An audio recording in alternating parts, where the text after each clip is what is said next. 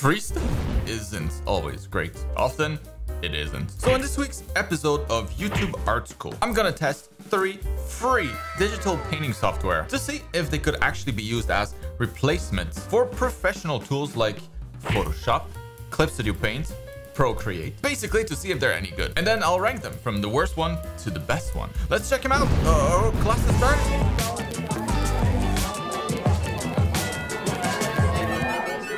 All right, class is in session. Pay attention. And pay the class fee of either one like or one sub to help me feed my family this week. The first software we're checking out is called Photopea. Photopea. Pho uh, and it's a weird one compared to the other two in the sense that it's a browser-based app. There's an option to download it locally, which is what I did and what I have here. And uh, this is what it looks like. It's got this sidebar for ads here, but uh, that's not really a problem. You know, check this out. Oop.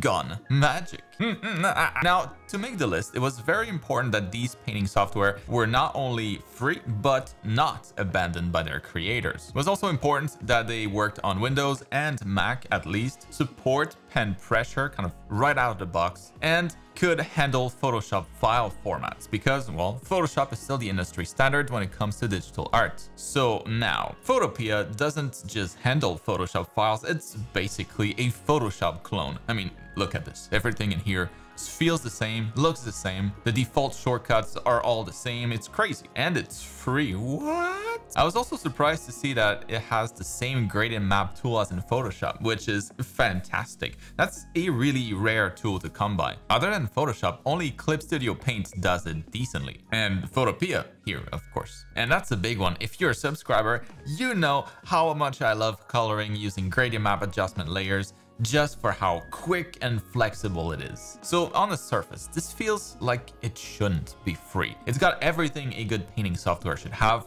blend modes, brush modes, all the usual layer options, image adjustments, filters. It even has the same Photoshop layer styles and even all the adjustment layers, not just the gradient maps. It's pretty crazy that you don't find this in most other paid painting software, but here it is and this is free. It also has more advanced layer features like clipping masks. My main criticism for it is mostly directed at the brushes. It's not bad, I can import my custom Photoshop brushes super easily, which is great, but most of them just don't work quite like in Photoshop since, well, they don't have as robust of a brush engine. Still, there's enough option to play with here to be able to create decent brushes. And you can use all of these brushes as smudge brushes like in Photoshop too. And that's very nice. Another small complaint maybe is that I can't edit my hotkeys. They might be like the Photoshop defaults, but my setup is a little bit different, so that's kind of annoying. Also, there's a bit of a paywall for this one, but I figured that wasn't as big of a deal.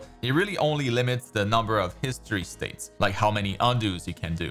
I think it's 30 max by default and double that at most for the paid version, I think. It's not much either way. I use a thousand in Photoshop, but I think Photopea is limited just because it's a browser app. And of course, paying for this would get rid of the ads, but they're not bothering me. Overall, this is a great Photoshop alternative. It's like Photoshop Lite. I would definitely recommend this one for students on my art school program, for example. I use Photoshop as my main tool, but students in our private school Discord often ask for a cheaper alternative to avoid Photoshop's annoying subscription model. Clip Studio Paint is usually my go-to recommendation since it's, you know, almost the same, yet much cheaper, but it's not free. If you're out of money, this is free and features all of the tools that I use myself in the program, so it would be really hard to get lost. And talking about that, we just reached 19,000 enrolled students in the art school program, an absolutely crazy number. And to celebrate the milestone, you can get the program at a big discount with the link in the description below. The price did go up a bit this month, but the discount should help offset some of that. There's no better way to get your art journey started or take your art to the next level if you're already experienced. It's the most popular art program in the world for a reason. Join us. What are you waiting for? All right, the next software is Krita, a better known free option. I have a lot of good things to say about it. This too is a full featured digital painting software that's very customizable. So coming from Photoshop, I can set all of my hotkeys to be identical and I feel at home right away. In that sense, it's a little better than Photopea, where the hotkeys were locked. This is a regular install, unlike Photopea, you know, it's not a browser app. and it's available on most platforms. It's another one that seems to take a lot of inspiration from Photoshop, so a lot of the tools look similar, behave similarly. It's also got most of the basic tools that I tend to use when I paint, different layer styles so that you can use inner glow, drop shadow, outer glow, etc. for your layers, something that Clip Studio Paint and Procreate, for example, don't even have. I just don't understand why these two free painting apps have it and they don't.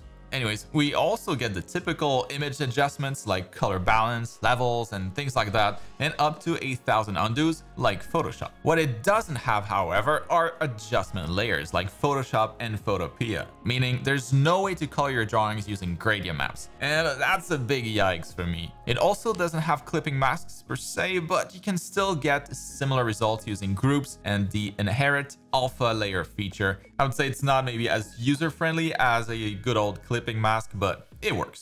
The brush engine here is also much more solid than Photopea, and there's a nice default selection of brushes to use. But importing your own from Photoshop faces the same issues, they, they just don't work. It's best to just create your own right here in Krita, or you know, download Krita specific brushes from other artists. My custom Photoshop brushes that you can get for free with the link in the video description by the way, Uh, well, they don't work at all for this, so. But some of them do work in Photopea, the more simple ones. Now, as a concept artist slash illustrator, I think it's important to mention the set of tools that I'm most interested in might not be the same as an animator, for example, or a comic artist.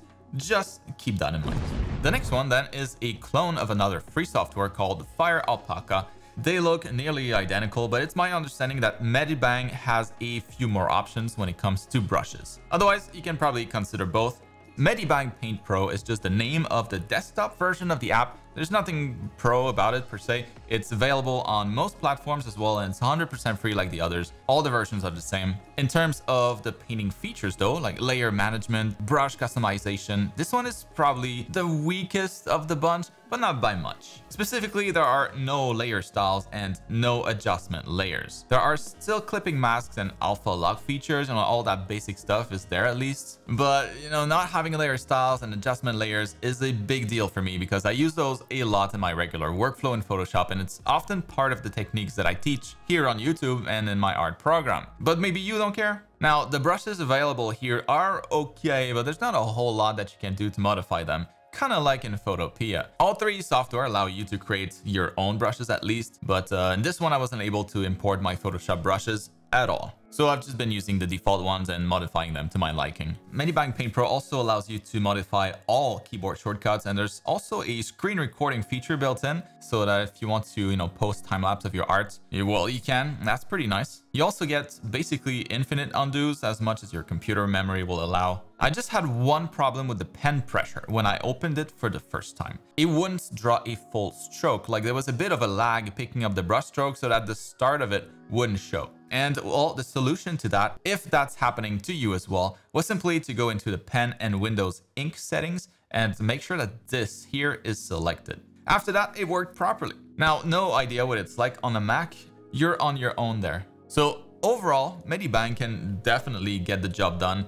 If I were stuck with this as my only available option, like I wouldn't be too sad, even if it's missing a couple of key features that I love to use. What it does, it does well at least. Now, when it comes to the ranking of these three free painting apps, and again, keep in mind that this is heavily biased towards my workflow as an illustrator slash concept artist, but I'll have Medibang Paint Pro as the third place, Krita in second, and despite the limited brush options and the tiny undo history, I'll have to go with Photopea in first simply because of the gradient map feature, aka the adjustments layer and the layer styles that almost perfectly mimic those of Photoshop.